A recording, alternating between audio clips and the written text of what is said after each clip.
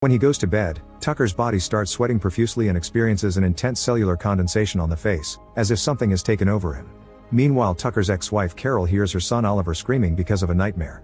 She immediately rushes to his room to wake him up and stays with him to comfort him for the rest of the night. The next morning, Carol gets a call from Tucker asking to see his son, which is not normal for him. Carol says no and hangs up. Afterward, Carol drops Oliver at school and goes to her office, where she works as a psychiatrist. On her way there, she runs into her best friend Ben, who offers to give her a ride.